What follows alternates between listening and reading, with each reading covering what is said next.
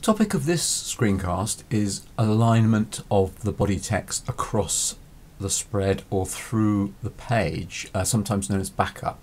In other words, uh, we want to make sure that the lines of the body text um, align across the spread and also when we look through the paper, I mean uh, the paper being very slightly transparent, uh, we want to make sure that the um, the text coincides through the paper so that we don't get a, an unfortunate shadow between the lines. Um, as I say, this is sometimes called backup.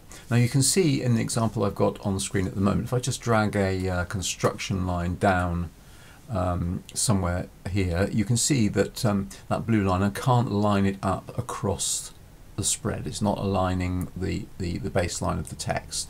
Um, and this is simply because um, we have uh, these headings, uh, which of course are sort of interfering with the uh, uh, with, with, with, the alignment of the text um, uh, as it appears across this page. So you can see at the moment that if I go to my um, my paragraph, my basic paragraph style, and look at the basic character formats, you can see here that we've got a 9.5 point uh, size um, of the of the of the typeface, but we're also using a leading of 13 point.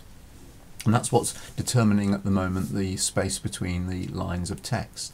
Um, so in order to try to align this, what we actually need to do is we need to use um, something in here called align to grid.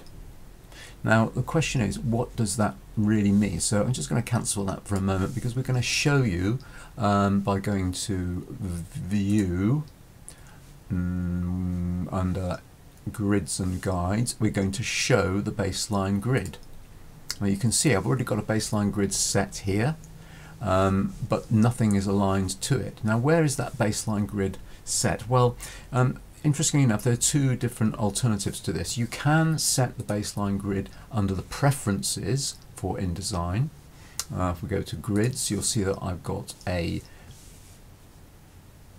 baseline grid of 14 points, so incremented every 14 points. That's the lines that you're seeing currently over here uh, on my on my panel. Um, now I'm just going to leave it like that for the moment. The other way that you can do it, optionally, um, is by selecting the text box. This text box here, you can see I've selected it. Then go to Object and go to Text Frame Options. And then we can set the baseline options here.